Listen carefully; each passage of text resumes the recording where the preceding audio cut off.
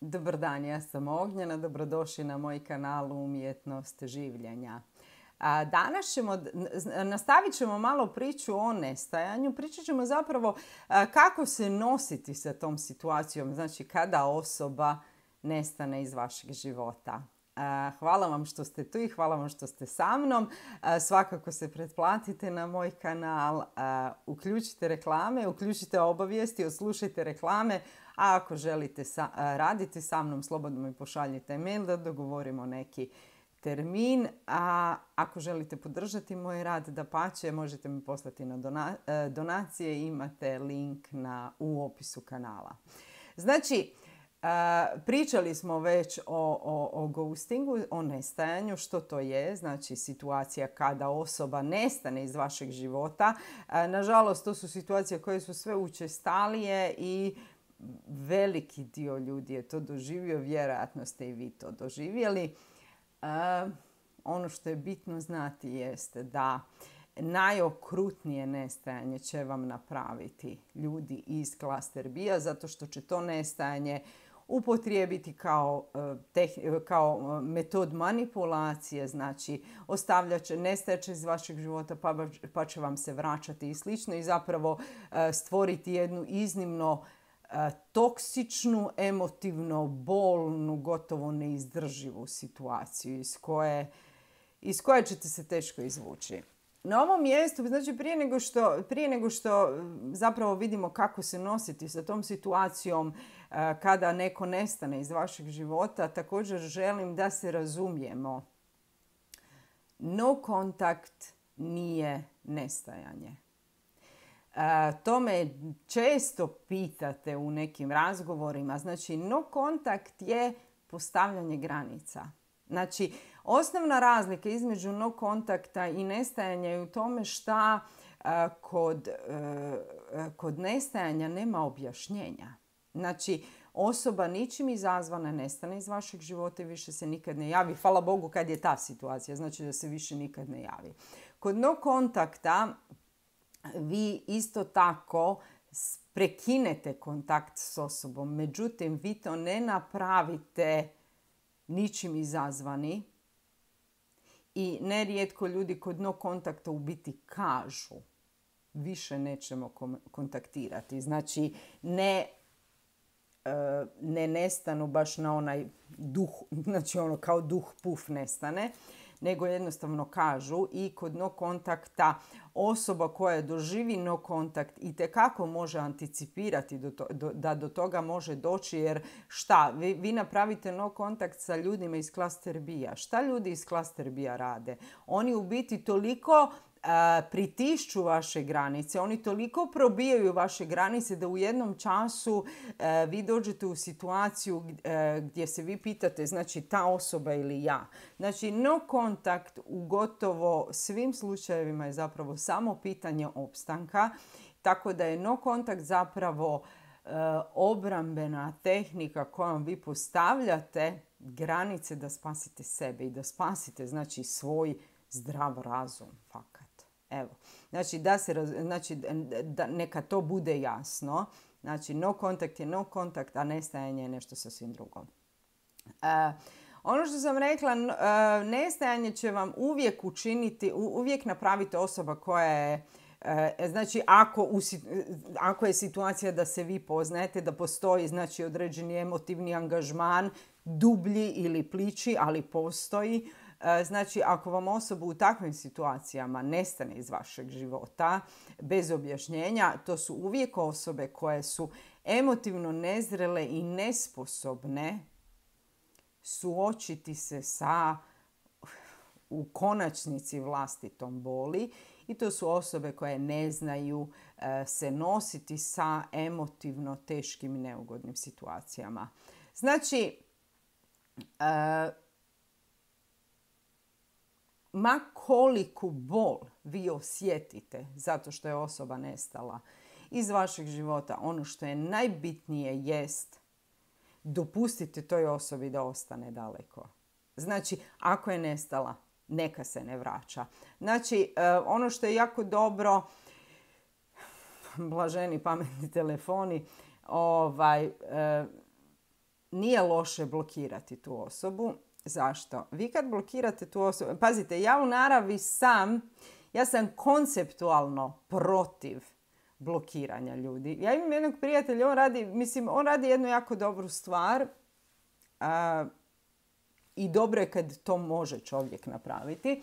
On zapravo, e, kada, kada, kada, kada prođe taj neki prekid koji je toksičan, znači ako on doživi toksični prekid od druge osobe, on tu osobu iz, e, blokira, izbriše i jednostavno e, prevenira da dođu u bilo koji vid kontakta u budućnosti. I on, i, i on to meni objašnjava na način da, kaže, na taj način ja znam da ako i dođem u napast, više nemam mogućnost napraviti grešku, napraviti pogrešku. Znači on je svjestan svoje slabosti i vis-a-vis toga on jednostavno prevenira buduće greške. Znači kada je u situaciji da je doživio neki toksični prekid iz bilo kog razloga.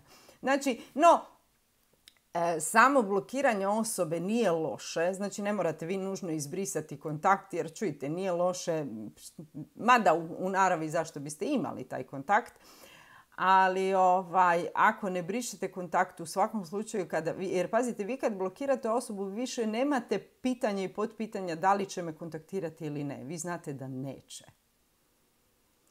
I vizavi toga je možda dobro zadržati kontakt, znači sam kontakt, zato što onda i znate ako, znači ako je kontakt od te osobe, znate da se radi o toj osobi, tako da možete prevenirati da se javite, ajmo to tako reći. Ovaj, naravno, to je sad stvar osobnih preferencija.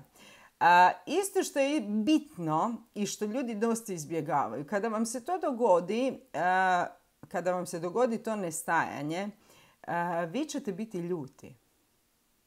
I ono što, i to ja uvijek govorim svojim klijentima, budite ljuti. Vi morate proživjeti tu emociju. Naravno da ćete biti ljuti. To je najzdravija moguća reakcija. Osoba nestane iz vašeg života bez da ste vi to mogli predvidjeti. Znači, konkretno ja sam doživjela, znači da je mene osoba doslovce jedan dan me obožava i sutradan, e, e puj pike ne važi. Mislim, e, to je Mislim, to je onako e, iznimno emotivno nezrelo ponašanje. I vi naravno da ćete biti ljuti. Ja kažem, budite ljuti na tu osobu. Proživite tu ljutu, ljutnju, izljutite se do onog trenutka kada vas prođe. Znači, e, hendlajte taj bijes. Znači, ili odite u teretanu, odite plivat, odite trčat, urlajte, pjevajte, plešite, bilo šta. Ali izbacite taj bijes iz sebe. Jer svaka emocija ako nije preživljena negdje će izaći.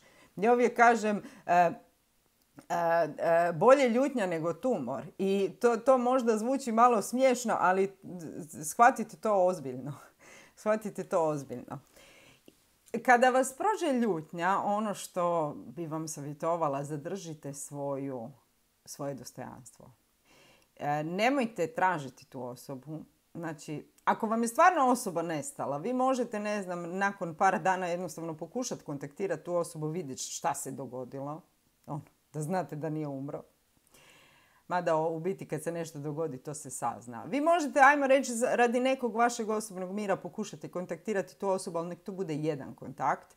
I kad vidite da je stvarno osoba vam nestala, nemojte više tražiti tu osobu. Nemojte tražiti niti objašnjenja.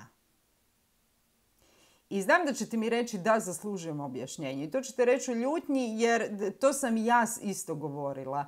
E, znači kad sam doživjela nestajanje ja sam rekla ali ja zaslužujem znači, tu rečenicu.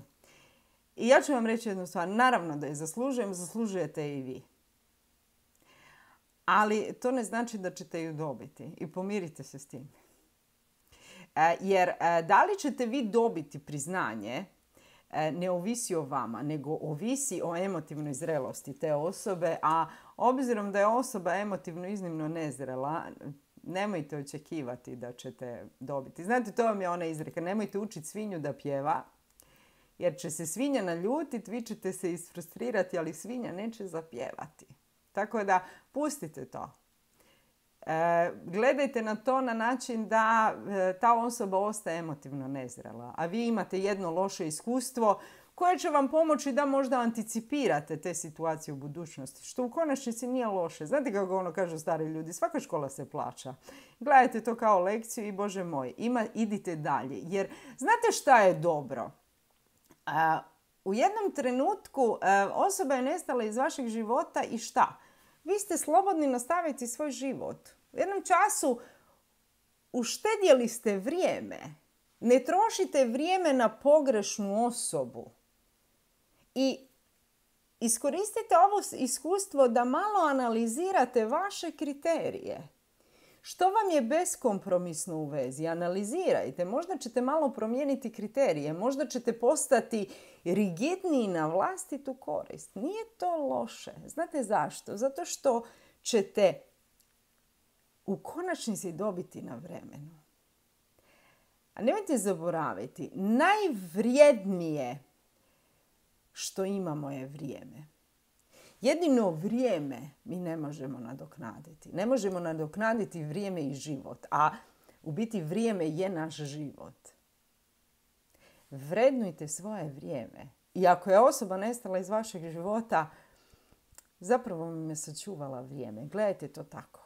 Evo, e, što da vam kažem, ako ste doživjeli to nestajanje, kažem, žao mi je da ste to doživjeli, ali gledajte šta možete pozitivno izvući iz toga i znajte to nije vaša greška i nije vaša odgovornost.